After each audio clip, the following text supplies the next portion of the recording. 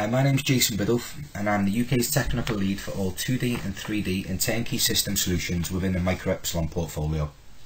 Today I'll be discussing a select few applications that have been solved using MicroEpsilon 3D surface inspection technology and demonstrating why the ability to measure to single micron resolution really does matter in today's industry.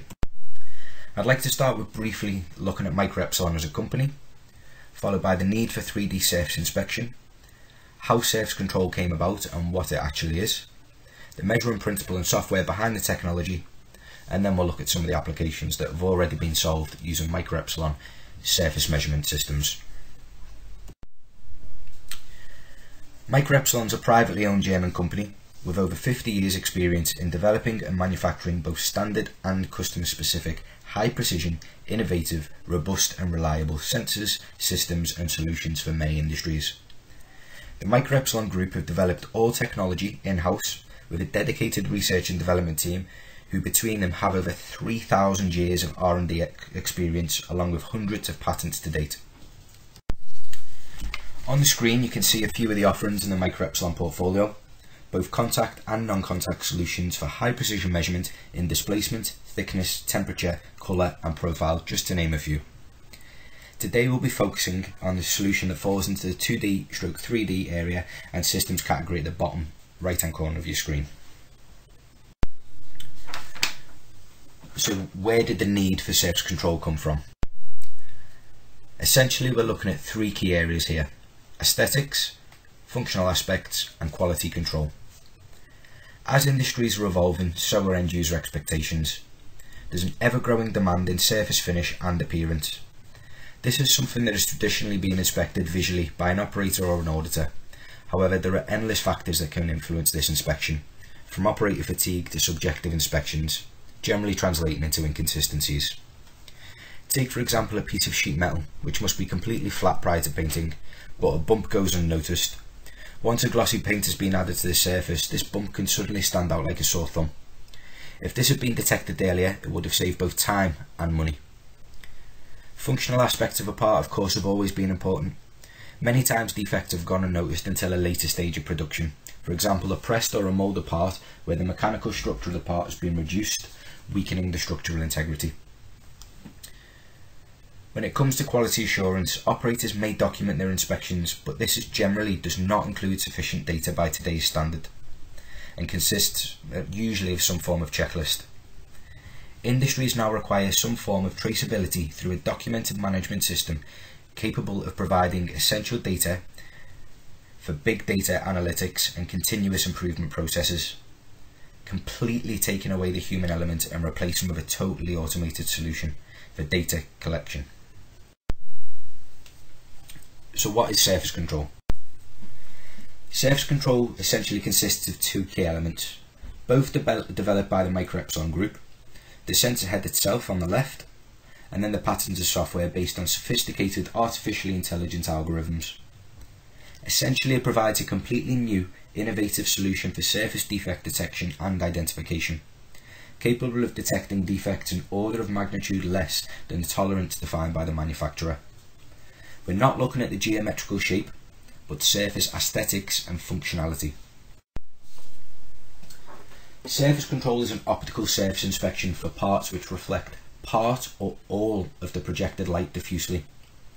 Utilising patented software process tools, it detects a vast range of defects from lumps and bumps to scratches, necking and cracking. This is not just another CAD-based geometrical system. Conventional CAD-based systems are unable to measure this level of accuracy, meaning they're unable to detect these types of defects. Therefore, surface control was developed. This is a system exclusively for detecting and qu quantifying dimensionally miniaturized defects, from scratches, bumps, dents and bulges, which are often smaller than dimensional tolerances of the part and may not always be seen until it's too late. Often these defects, particularly if aesthetic, do not degrade the structural integrity, however will be rejected by the end user purely based on aesthetic appearance. Currently there are three models with measuring ranges covering approximately the same area as an A4, A3 and an A2 sheet of paper. As I've previously mentioned, conventional CAD-based systems are not capable of detecting the type of defect that today's industry requires.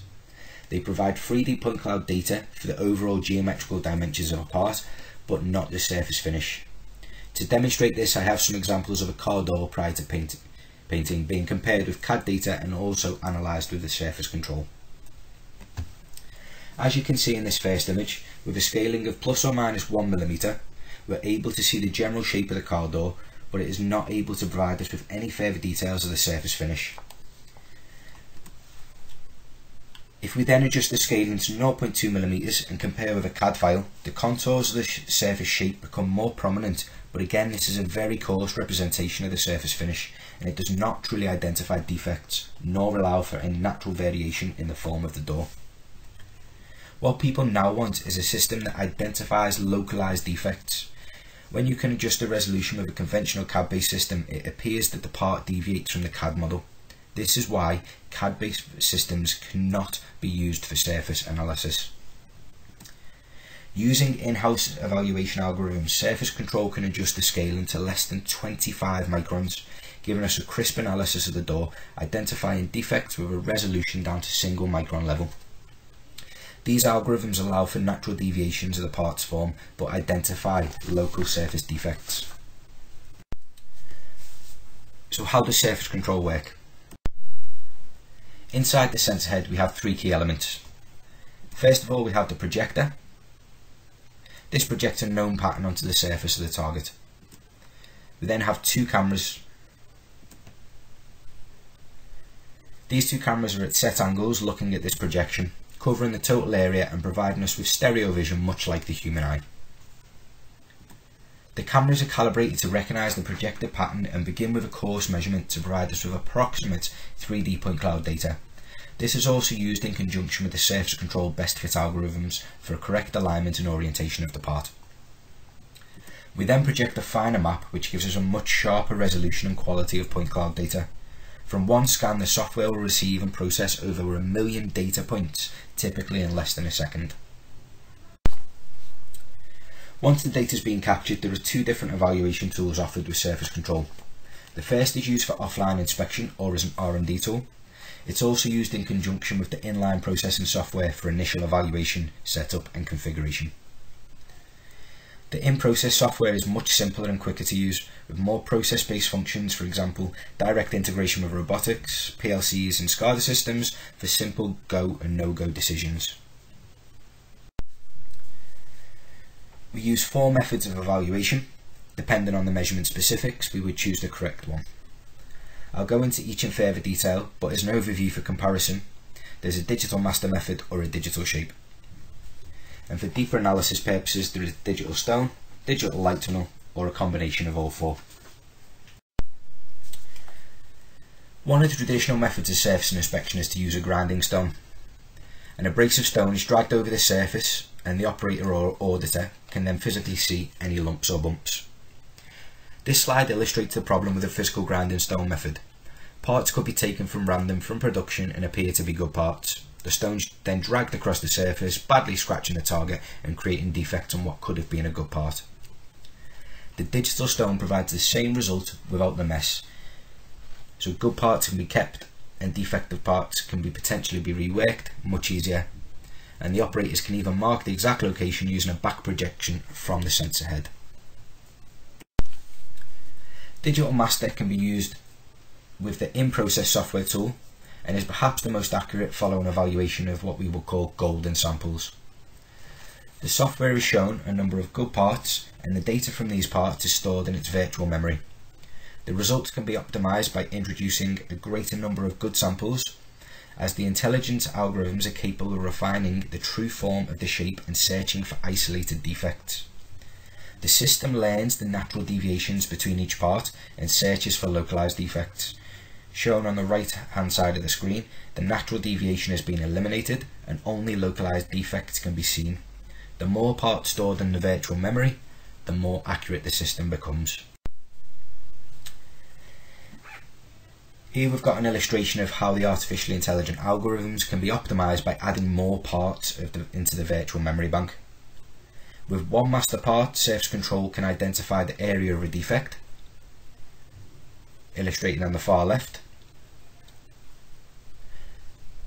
With two master parts, we can localise and pinpoint this defect to a much smaller area, and with 10 parts, Surface Control is capable of detecting much smaller defects as well as ignoring the natural shape of the part that may be perceived as a defect using conventional CAD-based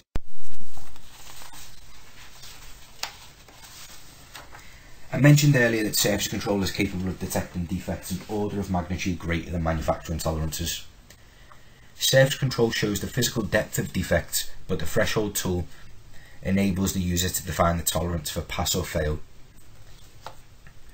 If we set a threshold of 100 micron, we can eliminate the smaller defects that may not matter so much in a particular environment. This can be easily adjusted again to identify smaller defects. You can see that the software provides the measurement depth in both the X and the Y axis, as some defects may appear shallow in one axis and deep in another. This gives us a true reflection of the magnitude of the defect and identifies the type of defect. You may feel that 30 micron threshold is too high, but we will cover why this is necessary in some applications in a moment. The final method of inspection is the virtual light tunnel. Much like a physical light tunnel, it illuminates the surface in many directions. The part can also be manipulated within the software to view it from different angles, much like an operator would when looking to identify defects.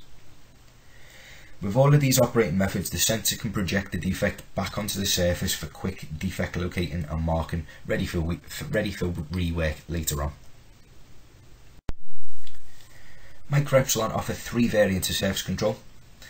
Mobile for mounting on a bracket in line or a tripod for a portable or offline solution, as well as R&D applications on a stable but portable tripod, including a carrying case. The compact version is integrated into a purpose-built housing so that the part can be presented to the sensor either on an inspection bench or manipulated by a robot. Surface Control Robotic is a fully automated inline solution for larger parts that require multiple shots to stitch together the point cloud data to produce a full map of the part. So now we'll look at some applications that have already been solved using Surface Control. As I'm sure you can imagine, the majority of these used applications so far, as you may expect, have been in the automotive industry where aesthetic appearance is critical to customer satisfaction. We'll start with looking at an injection moulding company who manufacture interior trims and fuel filler caps. As the fuel filler cap is a critical area, the end user will look at this a lot. As are all interior components, it is essential that these components are perfect. On modern cars, fuel filler caps are very rarely flat and always have some form of contour. This can lead to a parallax error, particularly under different lighting conditions, making it difficult to detect defects in a fast but reliable time. This defect is actually only 5 micron, but because of the curved nature of the part, it becomes visible under certain lighting conditions. Interior parts tend to have an aesthetically pleasing contour and are also handled more than any other part by the end user, so defects can be detected here by touch as well as sight. Both of these applications were solved using Surface Control Compact. The parts are removed from the moulding tool via a robotic arm and are immediately presented to the Surface Control Sensor head for a go or no-go evaluation of 100% of parts. On this next slide, on the first inspection the dash looks to be defect free. However, the micron level sink marks across the middle of the airbag may become apparent under different lighting conditions. Surface Control is able to analyse this from multiple angles, making the part, marking the part as a reject within seconds. As already mentioned, aesthetics have been the main driver for this technology. The dashboard of a car is a, comp component that is looked at a lot by the end user, so the desire for a perfect finish is very high. However, there is also the safety critical functional aspect of the airbag. The scoreline for the airbag must be at a set depth, but this is a single micron level, allowing the appearance of a perfectly smooth part. Surface control is in use during production at the dashboard suppliers facility, but is also used again once the dashboard has been fitted on the trim line at a leading automotive OEM. The sensor head is moved into the cockpit of the car and scans the dashboard. The software allows for the natural formula of the dash and ignores the textured finish, but still detects the airbag score as well as flushness. Much like the injection moulded plastic automotive interior parts, the aerospace industry requires defect-free comp composite interior parts. Surface Control is able to look beyond the structure of the natural fibres and quantify any imperfections. The software image at the top right identifies the sink marks in all three axes. The area selected on the screen has a sink mark 51 micron by 183 micron with a depth of 57 micron. These may seem like very small defects, but when creating an aesthetically perfect part for the customer, it really can make all the difference, which can be seen on the 3D projection on the, on the screen. Pressed parts are put under huge amount of stress during production, which can lead to aesthetic defects but also degrade the structural integrity of the part. Depending on the viewing angle of the first image, you may or not be able to make out a small bump on the engine hood possibly caused by some debris in the hydraulic press. To the untrained eye or an operator this may be difficult to visualise, but when we produce the 3D image of the part and add a smoothing effect to the surface, the pimple becomes much more apparent. It is also visible in the digital light tunnel, as it changes the direction of the projector light on the surface. Finally, this can be marked in the evaluation software for rework later on. Another application of a press part with a much more complex geometrical shape and therefore a much greater strain on the curved part of the component. This can lead to cracks or necking. Depending on the size of the crack, this can be easily seen by the human eye, but necking not so much. And this really does degrade the structural integrity of the part.